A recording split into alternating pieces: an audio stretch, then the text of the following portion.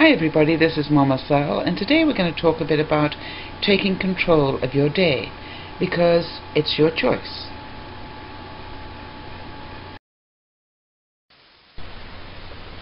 Well, imagine this for a moment. It's going to be a great day. You have things to do and a plan to do them. You have a really good friend coming to visit for the day, and that's so exciting for you. In fact, all is good. So tell me, how do you feel?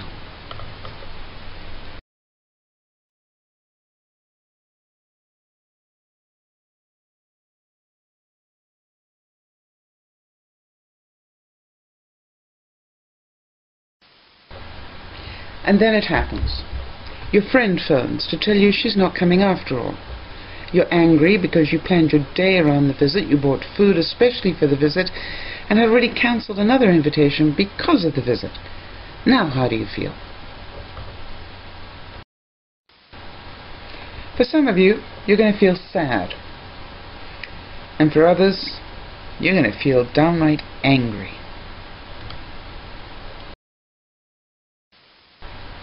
Yes, that would be quite normal. But the question is, for how long? How long are you going to let it ruin your day? That is your choice. And let's have a look at the choices here. Number one, if it happened to me, I could concentrate on the negative and get more sad and angry. I could make the situation worse than it is by doing that. I could end up absolutely ruining my day. And I could waste my time with questions like, why did he or she do this to me? Or, alternatively, I could choose to accept things as they are and understand that things like this happen and move on. I could immediately reorganize what's left of my day and then I could also think about something I had wanted to do and didn't have time for, which now suddenly I do.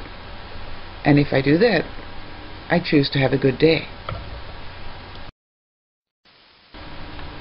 And so, if you want to take control of your day, make the right choice.